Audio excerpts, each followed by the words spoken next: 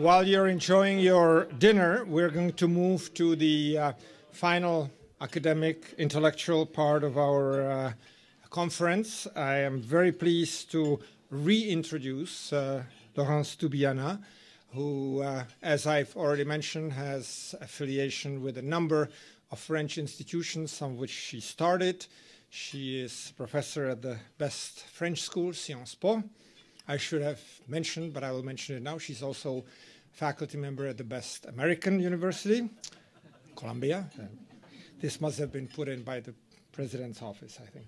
Uh, and um, so it's a pleasure to have her give the keynote. This is our second keynote speech, the dinner speech. Uh, she will uh, give the speech. We'll have time for uh, some questions and answers, and you can have your dessert and eat it too while she's speaking. Yeah.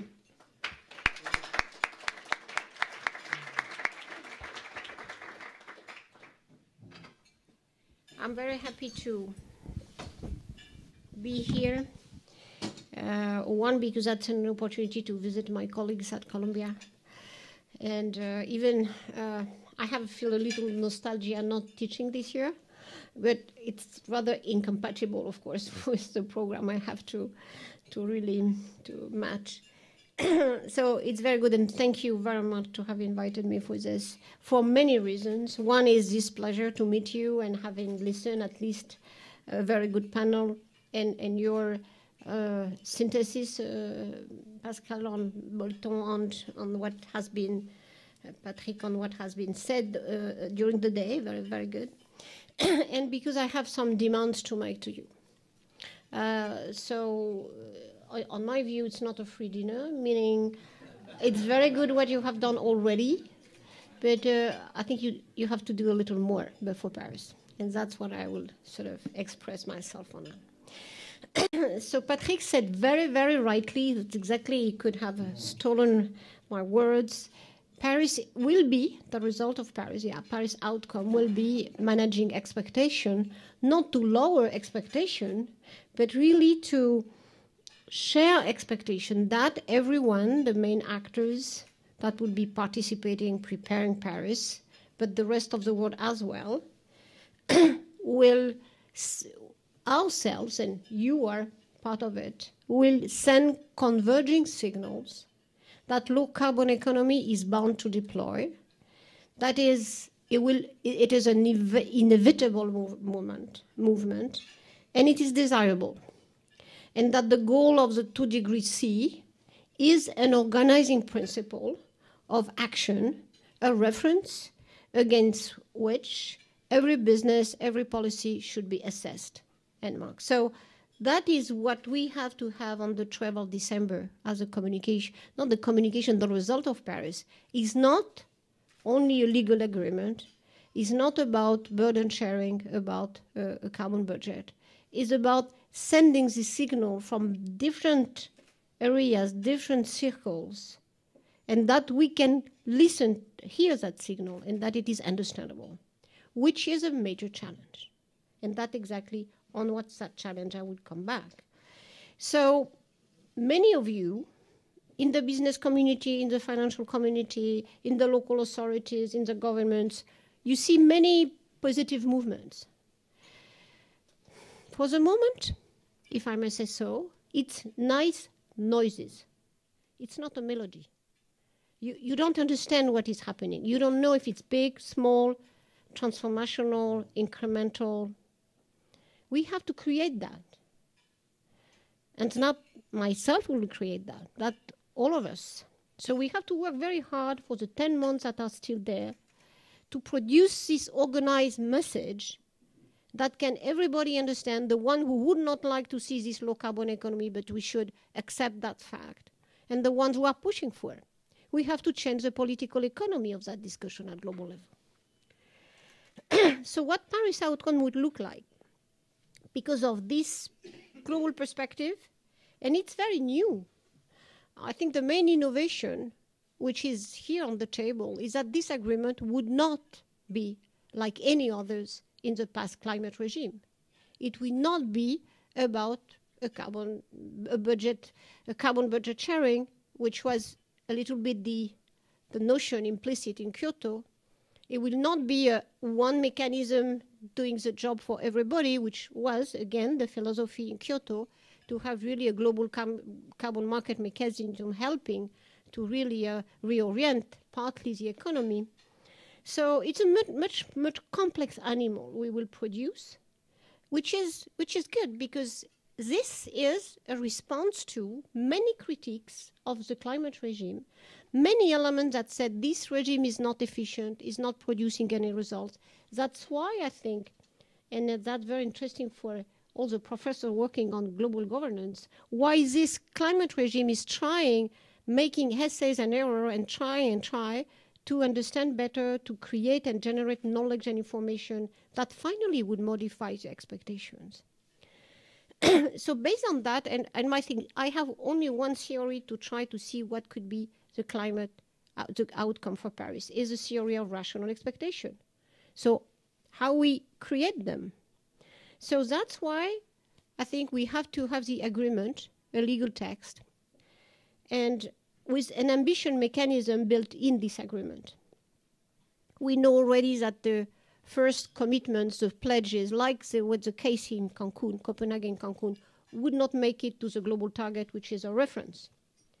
So we have to have an agreement that create the discipline for all countries, the rules, the cycles, the obligations, not necessarily the substance of the obligation. Uh, it is, a, for example, the numbers, but yes, the obligation nature of the obligation. And this agreement have to build in the ambition how we have cycles, reviews, long-term scenarios, in particular for 2050, that can make this process consistent with what the target is. So that is the first element of the Paris outcome. We have, of course, to have these first pledges, which is the heritage of Copenhagen and Cancun. Explicit, but was uh, I think, a better quality. Why? Just because countries are much more prepared. And because now it's not about putting a number, but uh, about describing the policy instrument that any country will use to implement these targets. And the explicit policy signals will be at least at the center of these INDCs. And we show this beginning to be the case uh, and that's a discussion we have. Maybe we do not have everything by Paris 2015, but the final contribution that would be in a way uh, uh, finalized before the agreement enter into force before 2020.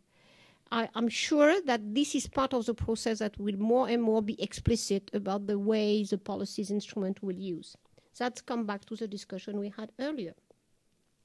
Then the financial transition, the finance will be, of course, a key element of the outcome in Paris. It's very central.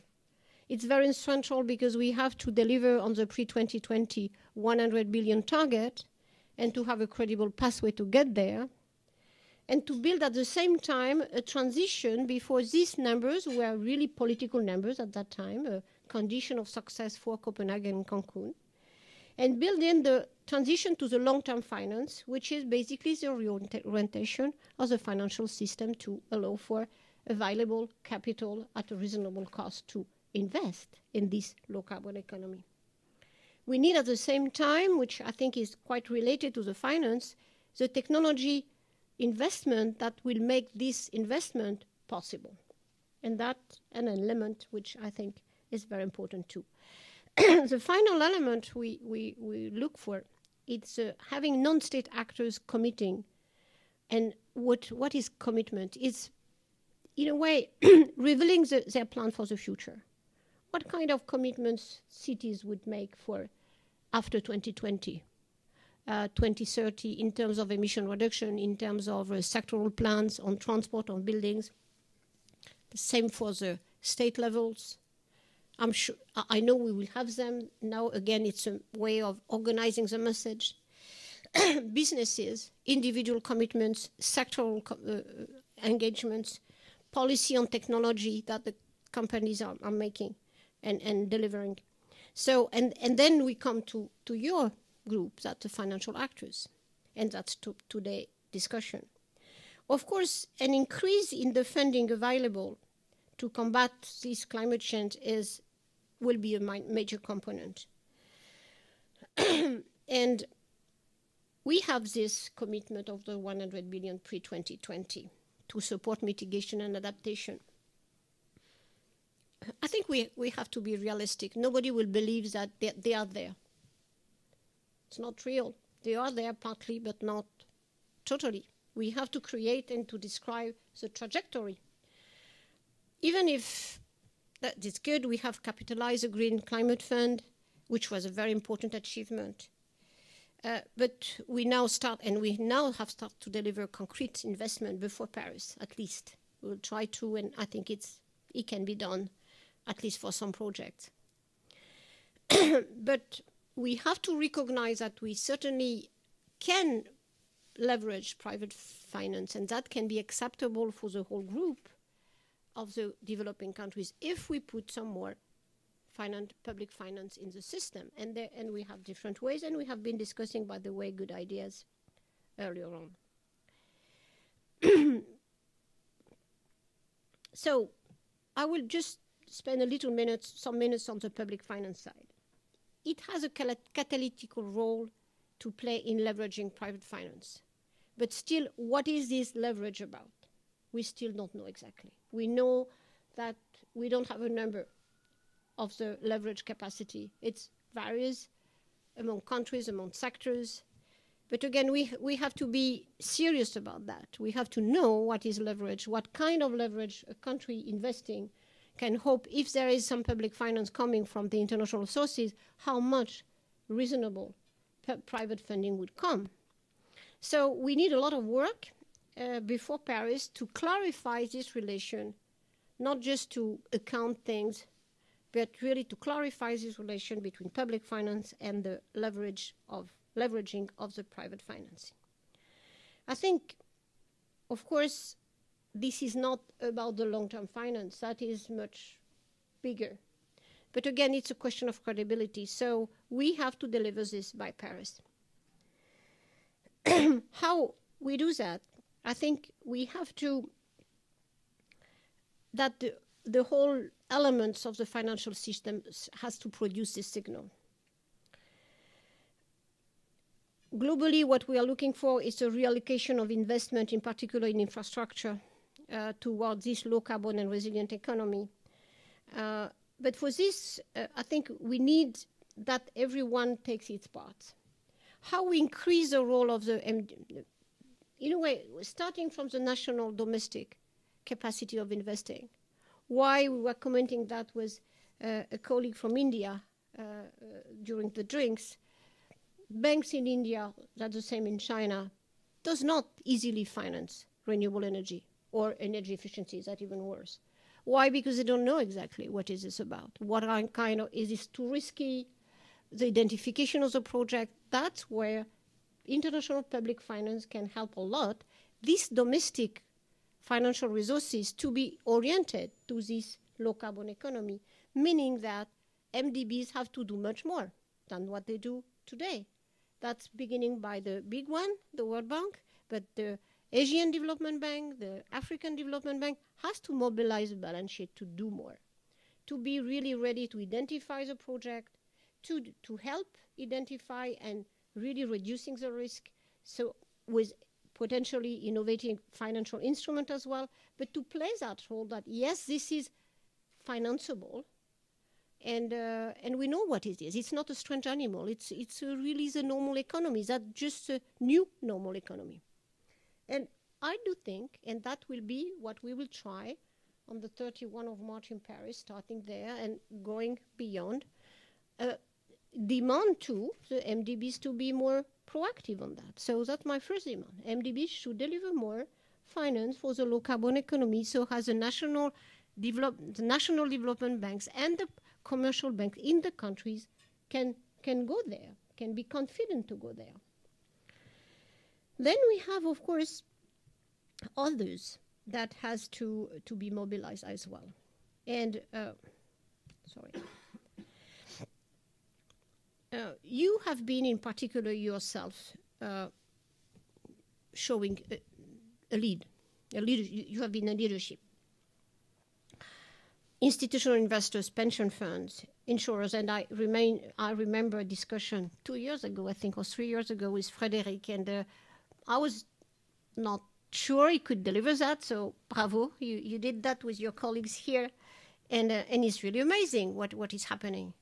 So really, this decarbonization, the idea of decarbonization of portfolio is a major major idea, and but of course that has it's not only disinvestment is now to go to uh, funding uh, the long-term investment infrastructure, match the liabilities. If, of course, the public finance has showed some leadership to do it. If not, the pension fund would not go there because it would not know what to finance, and it is, is really reasonable to go there.